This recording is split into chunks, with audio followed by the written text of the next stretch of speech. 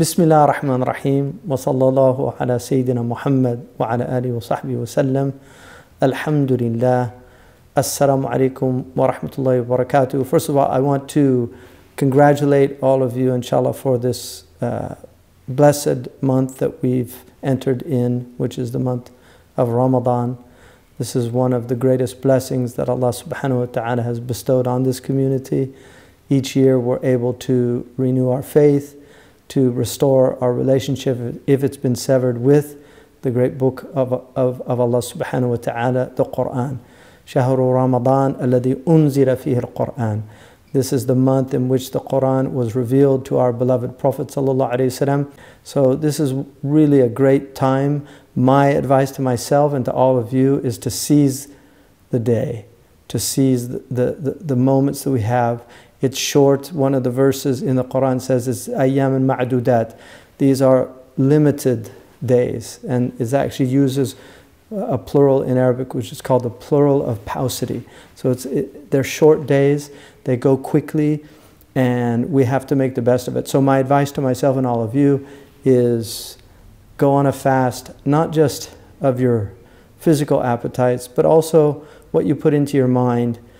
Go on a fast from social media, go on a fast from television if you're watching television, go on a fast from all those things that are distracting us from really one of the most important things that we have in our life, which is to focus on where we are and where we're going.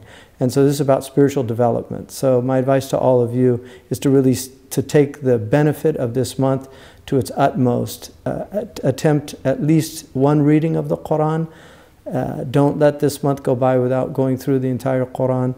Hopefully you can uh, also hear it recited in Taraweeh if you're able to and maybe give some portion of the night if you're able to. These are all really, really important. The doors of mercy are open, and Allah subhanahu wa ta'ala is waiting for us to come back to Him, return to Him. Alhamdulillah, at Zaytuna College, we're blessed. This is the month in which we have a graduating class this year, the class of, of 2019. Alhamdulillah, it's a really excellent class, and we've seen some extraordinary uh, students that have come out of this class. Uh, we, we're, we're a small college, but we're able to have some real quality in, in the people that have come.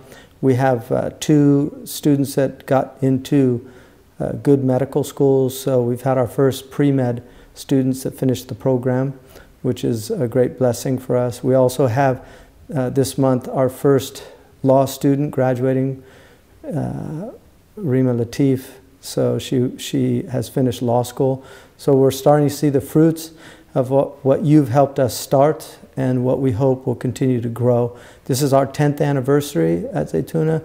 We founded it with uh, Dr. Hatem, Imam Zaid, and myself in 2009. So we're in our 10th anniversary, and we're hoping that this is really going to be a blessed Ramadan for us. Uh, the more help you give us, the more we're able to do. So I really hope that I know most of you, if not all of you, have, have many, many responsibilities and you're generous people that are donating to a lot of different uh, organizations. The Muslims are in desperate need in many places, but I hope that you can find it in yourself to continue to support us, and we appreciate greatly that support.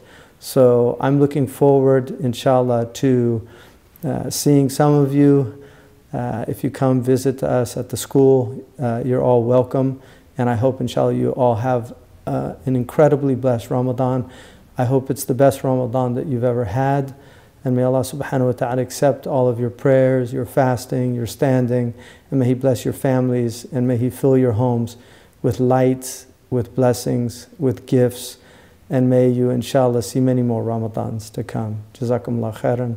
Wassalamu alaikum wa rahmatullahi wa barakatuh.